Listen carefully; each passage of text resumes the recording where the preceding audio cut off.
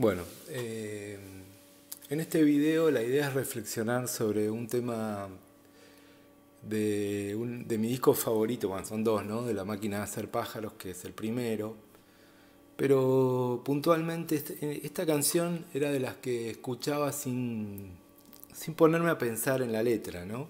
Era como que me dejaba llevar por el ritmo, eh, esto de probar el vino y el agua salada, pero bueno, me, la imprimí y me puse a pensar un poquito en la canción, ¿no? en, ver de qué está hablando. Este, por eso cuando también lo hice con iba acabándose el vino y, y bueno, acá encontré muchas recurrencias, muchos este, puntos en común con muchos temas de Charlie, pero particularmente en esta canción que está, está, debe estar escrita en no sabemos muy bien eso, tampoco nos importa, pero en el contexto, eh, en el marco político donde se cantaba esto, era un momento álgido de la, de la República Argentina, ¿no? la década del 70, una década de violencia, de muerte. Eh, y más allá de su poesía, como decíamos, que es sumamente atractiva, que, que te imanta escucharla, eh, podemos abrir yo abro por, por mi lado esta posibilidad de otra lectura, que como siempre decimos con relación a las lecturas son personales y, y como siempre me gusta decir, están mucho más allá de las intenciones del autor, que tampoco nos interesan demasiado y que tampoco podemos conocerla demasiado y, y más que nada porque uno se apropia de la canción, ¿no? Y al apropiarse de la canción, bueno, esta es la canción que a mí me gusta y voy a ver de qué está hablando, de qué yo creo que está hablando, porque tampoco uno puede tener la pretensión de interpretarla. Mucho más cuando se trata de canciones, donde muchas veces eh, las palabras se eligen por su sonido más que por su significado. No, no sería el caso de Charlie eh, puntualmente. Eh, pero haciendo foco en cada frase van apareciendo cosas, ¿no? Esto de Julia, Julia, nombre. Julia baila despreocupada con tachos y calles y acá aparece el mar. Se baila con el mar, se baila en el mar. ¿Por qué aparece el mar? Aparece para unirlo con el agua salada. El mar aparece como símbolo de otra cosa. Son preguntas, ¿no? Eh, Julia, a partir de ahora, la despreocupación es y además es la prometida del rey de los locos. El rey de los locos, o sea, el loco más importante. Y, se abre un planteo. ¿Se quedarán a cumplir con las obligaciones del rey y de su prometida ante los locos o partirán, ¿no? En la madrugada, dice, con el nuevo sol en la nariz, a probar el vino y el agua salada para olvidarse de ser rey y ser feliz acá se revaloriza la idea del mar, ¿no? Eh, el agua salada, que en contraposición con el vino, con lo deseable, lo que embriaga, es lo intomable, digamos, es imposible tomar el agua salada. Eh, de hecho, en Israel el otro día vi un, documental de cómo, le, cómo la desalinizan, ¿no? Como, este, y bueno, toda esta cosa del agua dulce y vienen por el agua, bla, bla. Eh, que siempre dicen que la Argentina, que tenemos mucha agua dulce y que en algún momento nos van a invadir para sacarnos toda el agua. Eh, son esos fantasmas que nos rodean los argentinos. ¿no? Eh, bueno, la canción plantea esto de que el rey y su prometida se podrían olvidar de sus obligaciones, mandatos y ser feliz, ¿no? Siempre esta cosa de esta simplificación de la palabra feliz como si uno hiciera un par de cosas y podría obtener la felicidad, eh, que sabemos que es eh, inalcanzable, ¿no? Eh, y eso que no, soy de los más pesimistas, pero lo único que se puede hacer es aquietar un poco los movimientos internos del cerebro, del alma, como la psique, como la quieren llamar. Porque la felicidad es una foto, ah, mirá qué feliz era en este momento, pero cuando se movió la foto ya hay algún problemita. Eh, y bueno, eh, podríamos abrir un gran debate sobre la felicidad, pero bueno, para eso ya lo tenemos a Palito Ortega que le cantó y explicó todo. Y acá es donde empieza a, politizarse la canción, ¿no? Eh, dice, los cucú lloran, los diarios no salen jamás. Ya no hay pan, ya no hay sal. Las niñas han regalado sus piernas al, más, al mal. Satanás volverá a bien castigar, a castigarnos por dudar del rey de este lugar. Pero bueno, me quiero detener acá, porque como decíamos acá, la canción abre otra puerta, ¿no? Eh, la letra ya toma un giro más oscuro y empieza a hablar de pérdida, de violencia. Y si volvemos a contextualizar en la época en la que está escrita, en el marco político de la Argentina de esos años, acá los cucú lloran, ¿no? ¿Y qué, qué, esta metáfora, ¿no? Los cucú lloran. el cucú hace cucú, cucú, sale, canta la hora y se va. Y nos podría hablar, ¿no? De que el tiempo está como detenido, como no sucediendo, como... Porque aparte dice, los diarios dejan de salir. Y esto podríamos leerlo como, bueno, eh, las noticias no se conocen, no se esconden, o podría también hablar de la censura, que era tan, tan de esos años, ¿no? que no se podía, que de hecho Charlie tuvo que cambiar un montón de letras de instituciones, porque había el, censor Tato, creo que estaba en esos años, que, había gente que decía esto no se puede, tiene una bajada de línea o de izquierda o no sé, un montón de pavadas que hicieron que muchas canciones tengan que cambiarse. Em, y también se mezcla con, este mandato religioso, ¿no? Eh, acá, vamos a ir sobre este tema de las niñas han regalado sus piernas al mal. Tranquilamente podría estar hablando de eh, que estas chicas no siguen los preceptos de la iglesia, de mantener la virginidad hasta el matrimonio, pero bueno, nos quedaría como muy chico ahí, ¿no? Está bien que en esa época la iglesia tenía mucha más este, mucha más, mucho más predicamento entre la gente y más en, países como este que tienen la religión católica como, como casi obligatoria. ¿no?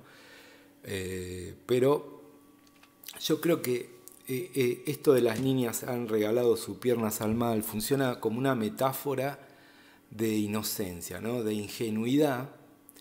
Y aquí es donde yo digo que esto se pone oscuro y político, porque me parece que podría estar hablando de la juventud de aquellos años que se comprometió con la violencia, el mal, entre varias comillas, el mal de integrar este, eh, eh, eh, organizaciones armadas, Montoneros, SERP, todas las, las estudiantiles. Y, bueno, esta inocencia de, esta juventud que se comprometió con la violencia,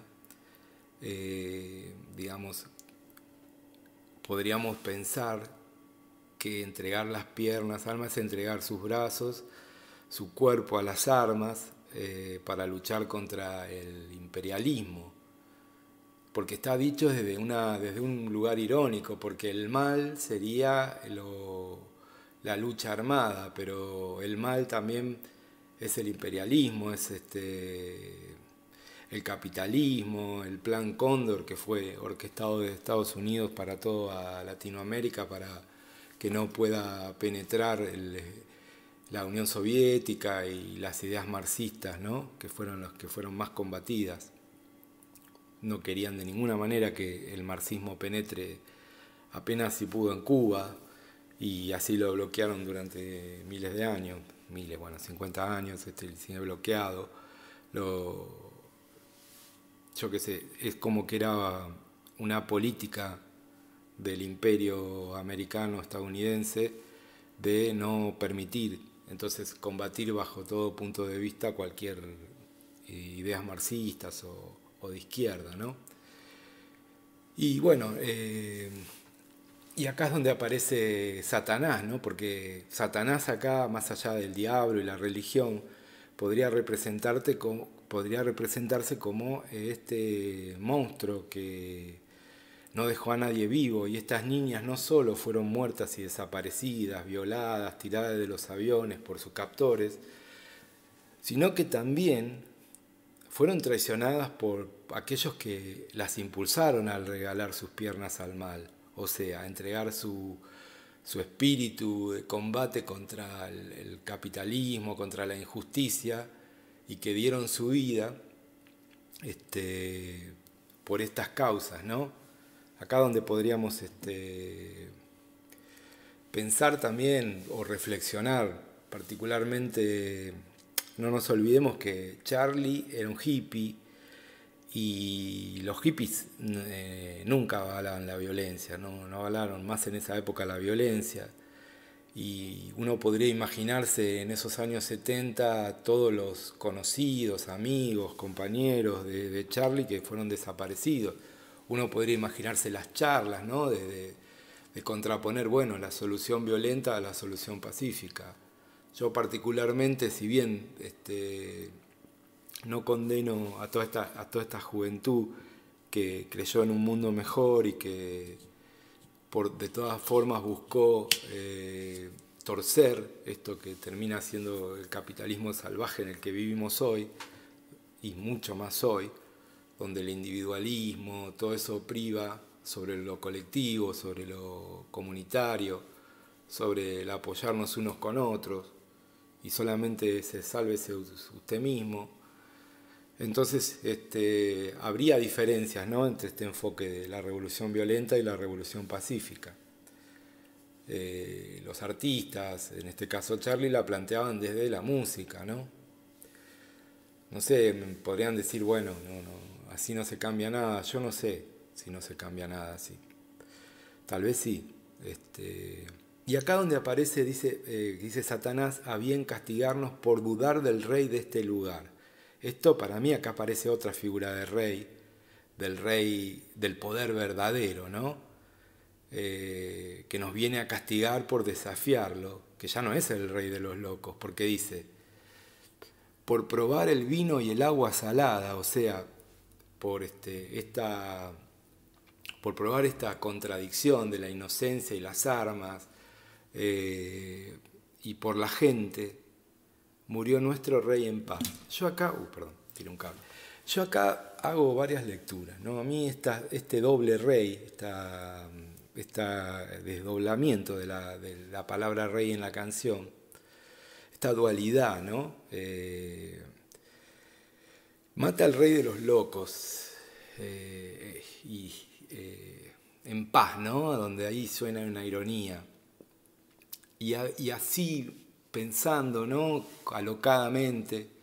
Digo, y si ese rey era Perón, que volvió en el 73 y murió en el 74, ese rey que probó el vino y el agua salada, este, esa figura tan contradictoria, ¿no? Que fue la de Perón, odiado, amado, este, que en su primera presidencia hizo una verdadera revolución de, dar vuelta a todo, pero que bueno, que, que durante su exilio en los años 60 coqueteó con la derecha, que sería todo el sindicalismo pesado, Rucci, todo eso, y la izquierda, que era la que se mostraba más combativa, la que resistía, la que se sintió defraudada cuando Perón los echa de la plaza. Entonces acá es donde esto del vino y el agua salada empieza a cobrar un montón de dimensiones, ¿no? No se puede estar con Dios y con el diablo.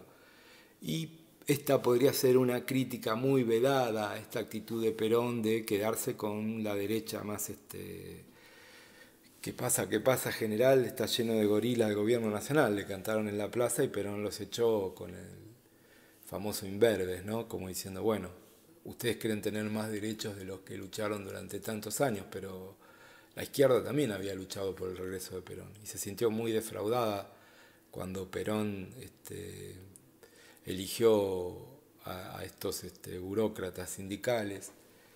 Pero bueno, eh, también había ya una elección por el camino de la violencia que evidentemente Perón no... Es discutible esto porque podríamos acordarnos del Perón de la primera, segunda presidencia diciendo leña, leña, así que pero creo que esto es lo mágico de una canción que puede disparar todas estas cosas y a mí que me encanta la historia, puntualmente la historia argentina más que nada, porque Yo era chico en estos años, pero lo viví todo esto, lo, siempre me interesó muchísimo. Eh, y acá es donde aparece esta figura eh, que, si bien no, no, es directa de Julia, dice, ¿cómo te puedes reír así, hermosa, cuando forzaste mi mente? ¿Cómo te puedes reír así, hermosa, cuando mataste a mi gente? Julia que baila con tachos y calles y el mar. O sea que podría ser, porque es una referencia femenina que hace acá, eh, podría ser esta idea de la, de la, inocencia, de la libertad, y que podría estar representada también como la prometida del rey de los locos, que podría ser Perón.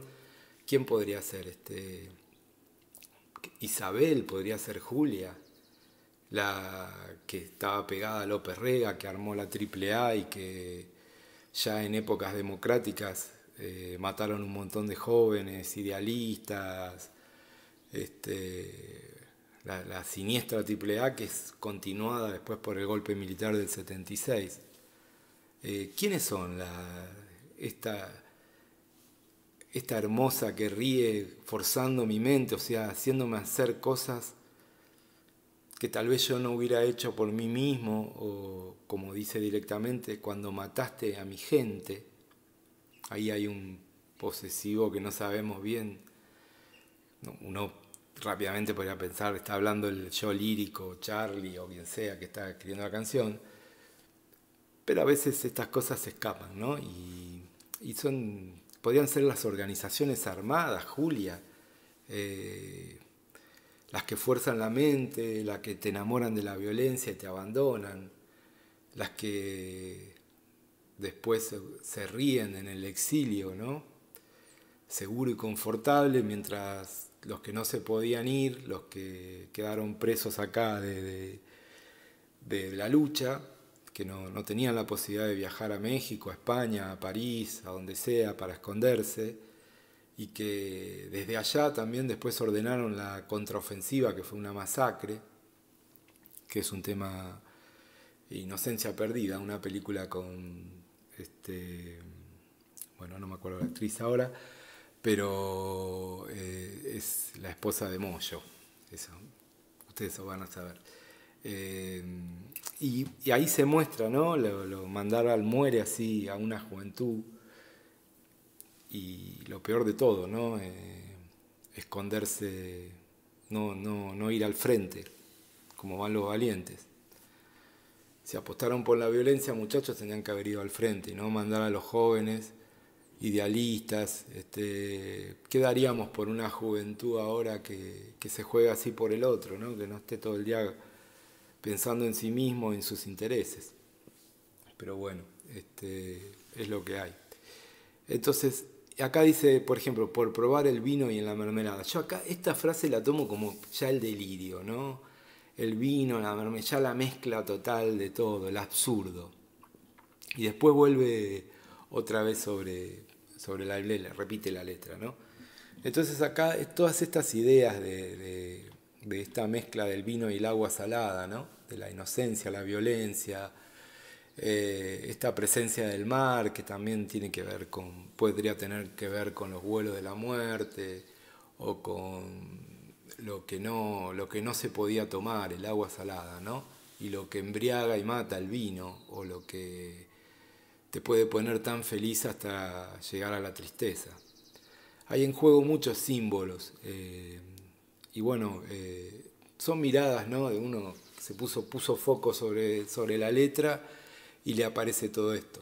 Tal vez a mí me aparece porque tengo, digamos, estudié mucho sobre los movimientos eh, armados o porque se me representa esto y, siguiendo la carrera de Charlie uno sabe que siempre hace este tipo de, referencias indirectas, ¿no? Eh, pero que son muy lúcidas y muy poéticas.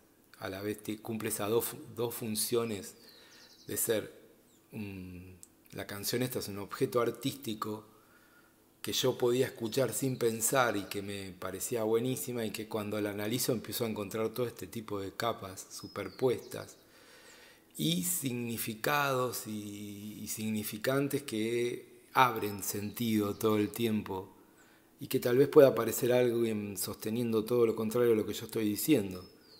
Pero creo que vuelvo a, vuelvo a puntualizar esto de, de Charlie como hippie y los hippies sí querían la revolución, pero no, no, no avalaban la violencia. Eh, era parte de su, de su configuración como hippie. ¿no? Entonces uno se imagina todas esas ideas en la cabeza de alguien y bueno, eh, para la poesía se encarga de, eh, de embellecer la muerte, ¿no? la, esto de, dejarse llevar por la violencia y del otro lado tener este, una banda de asesinos dispuestos a matar en nombre de Dios y del Estado. Porque de ninguna manera esta crítica eh, puede ser leída como en, sintonía con la teoría de los dos demonios, porque acá había un, gente que jóvenes, yo siempre defiendo, esos jóvenes que se arrojaron a la lucha por un mundo mejor. Eh, que haya habido entregadores no significa que sean dos demonios. Acá había la lucha por un mundo mejor, por un país mejor, y unos asesinos, ladrones que hasta el día de hoy se están repartiendo la plata de los secuestros que hicieron, de las muertes, de las, y la verdad que eso de y por ¿Por qué había que vencer? ¿Por qué había que no dejar que coexista una idea capitalista con una idea marxista? Cada uno puede elegir la que quiera, cada uno puede elegir lo que más le guste, en la medida que no... Por eso yo, esta gente eligió, y yo no, no, no avalo su elección por la violencia. Yo hubiera preferido no romantizar la violencia que ya venía de del Che Guevara y todo eso, que uno no puede discutir la figura y lo contra, contra los monstruos que luchaban. Pero bueno, uno sabe que la violencia siempre trae más violencia. Y así terminó, ¿no? Esto este probar el vino y el agua salada. Tal vez habría que haber buscado otros caminos, tal vez no, yo no, tengo ninguna verdad. Pero bueno, lo interesante es ver cómo una canción eh, una hermosa canción también puede abrir tantos, tantas puertas de sentido, ¿no? Eh, así que bueno, era solamente la idea de compartir estos, estas impresiones y, y bueno, y como siempre digo, lo mejor que pueden hacer es ir a escuchar la canción y disfrutarla. Y tal vez alguna de las cosas que se dijeron acá puedan encender algún chispazo para otra interpretación, que me encantaría. Sé que no pasa, pero este, que alguien me la pueda comentar, ¿no?